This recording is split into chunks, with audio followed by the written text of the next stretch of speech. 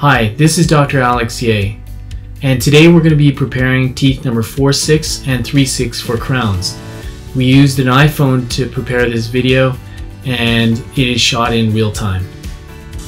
Right now I am, uh, I've already started uh, preparing the occlusal reduction, so we're using um, like an egg-shaped diamond, coarse diamond, and um, you know, this is what I typically do first. I just do the occlusal reduction. I'm not in the habit of using depth cuts. And uh, the crown preparation will be done with just two, two burrs. The burr that you just saw, the egg-shaped diamond, and then uh, a shoulder diamond. So it's, a, it's like a one millimeter wide shoulder diamond. Uh, so after the occlusal reduction, I typically get started on the buccal, the mesial buccal angle, and then, and then we start preparing the margin on the mesial, and I'll swing around to the buccal side, and then we'll, we'll do the distal, and then finally the lingual side. During the preparation, I'm pretty focused on getting as close to the gingival margin as possible without touching or lacerating the gingiva and causing unnecessary bleeding. Um, this preparation ended up being a little bit more difficult than we anticipated because there was some decay that needed to be removed, um, some decay that extended subgingivally, so it did take a little bit longer. So we we're working, we're spending a little bit more time on the mesial side here because there, I've, I've found some decay.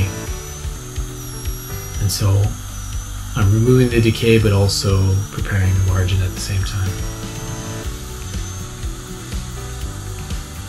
This is an air-driven handpiece, um, just an old wolf handpiece. I think it's just a, it's, it's nothing special. So here I'm you can see I'm, I'm rounding out the the uh, distal buccal line angle and we're continuing onto the distal side there. Again, the margin is subgingival due to decay.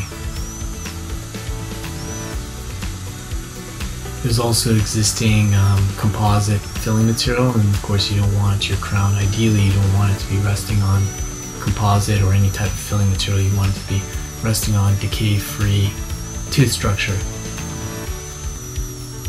I like the shoulder style um, diamonds which are essentially cylinders, cylindrical, um, because it, it makes a nice distinct margin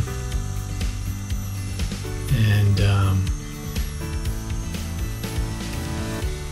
you can get uh, you can get these shoulder type diamonds in uh, fairly narrow dia diameters. This one I believe is just over one millimeter. It could be like one and a quarter millimeters in diameter. Just slightly larger than a 557 carbide burr. The this is the uh, the most used diamond I I, uh, I have for um, crown preparations. This this and different lengths of this same type of burr.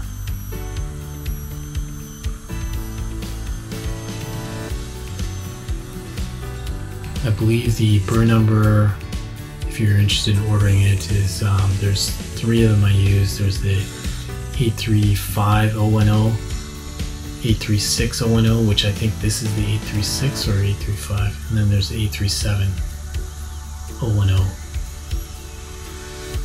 And the green stripe indicates that's the coarse diamond. I only use coarse, or it could be, it could even be the extra coarse.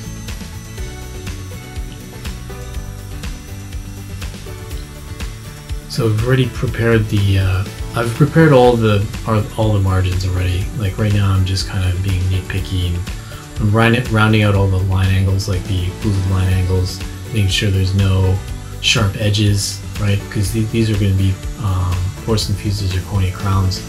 So you do not want um, sharp edges or line angles, which will create stress, uh, points of stress, and increase the risk of fracture, premature fracture of the uh, of the crown under occlusal load.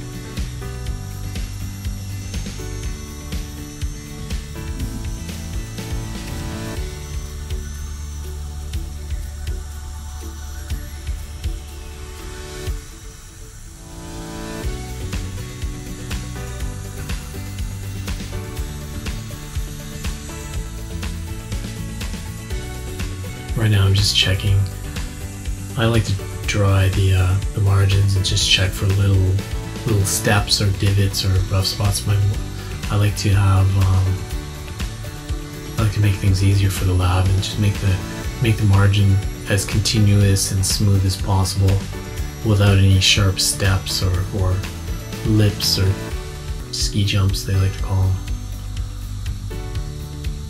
So you can see that uh, the distal margin is fairly subgingival. And if I recall, it's because there is a deep um, existing composite filling that we have to get uh, get under in terms of resting the margin on tooth structure.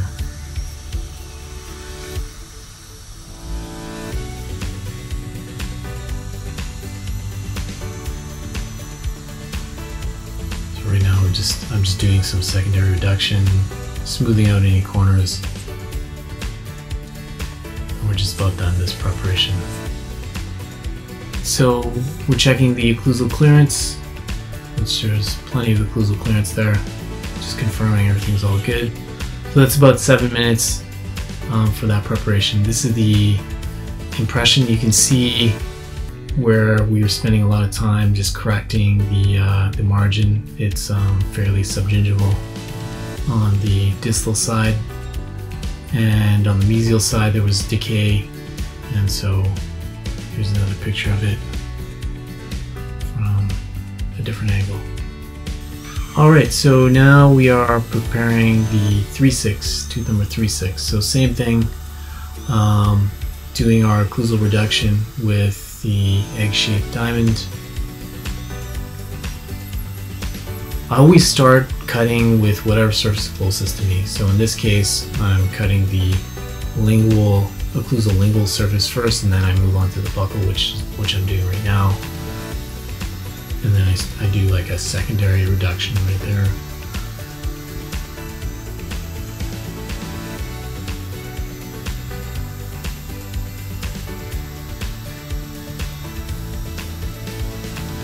Try not to switch between burrs. So like I'm done with that egg-shaped diamond now. I will not use that again. Um, or it's unlikely I'll be using that again. And maybe until like I'm I'm done most of the crown prep I might break it out again, but switching burrs and you know suctioning or like letting the patient close their mouth and things like that that takes up a little bit of time, so uh, I try to be as efficient as efficient as I can be. So now I'm back to the uh, shoulder style cylindrical diamond burr. And because the lingual surface is closest to me, I start with that. Um, you'll notice on the 4-6, I started on the buccal side because it, it it was closest to me. Now I'm just on the on the lingual side.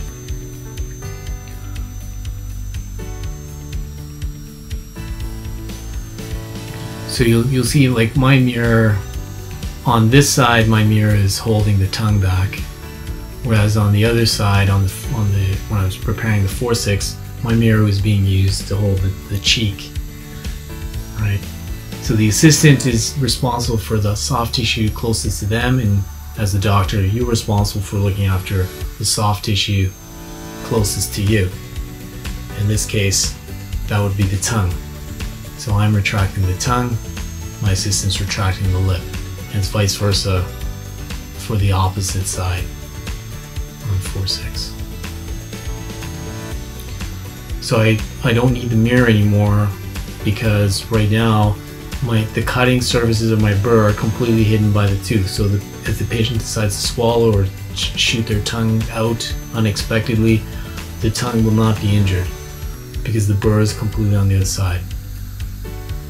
And my assistant's doing a good job of retracting.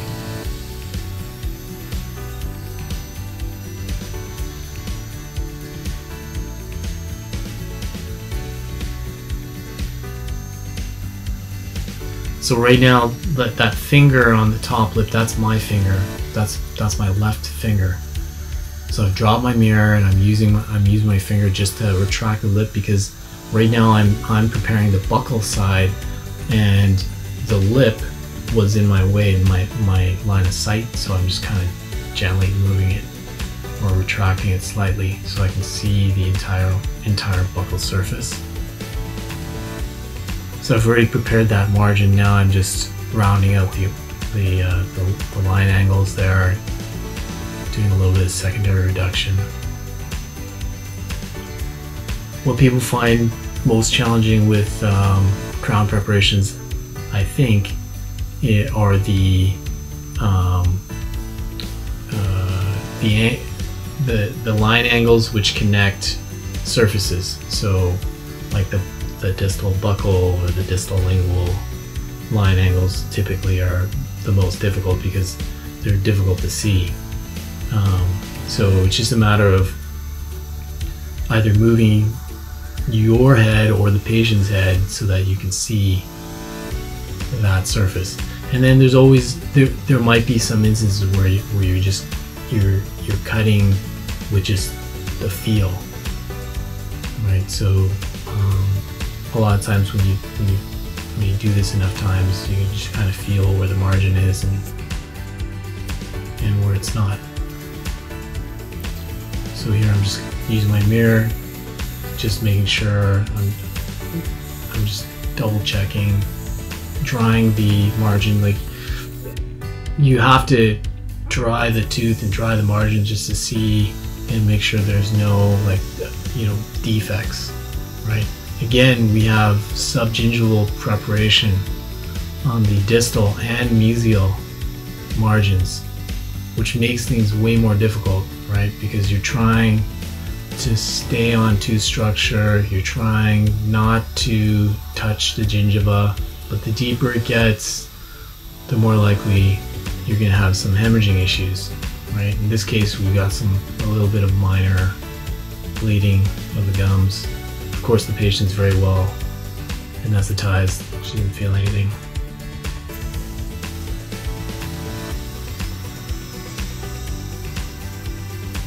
I don't recall what the reason is for the deeper margins. I believe it was because there were deeper, deeper composite fillings, and uh, so the margin had to uh, extend slightly deeper than the filling material so the crown can rest on um, non-decay tooth structure.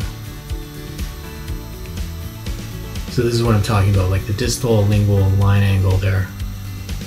Right, it's difficult to see. I'm using kind of like a combination of sight and feel. And now I'm just kind of being nitpicky.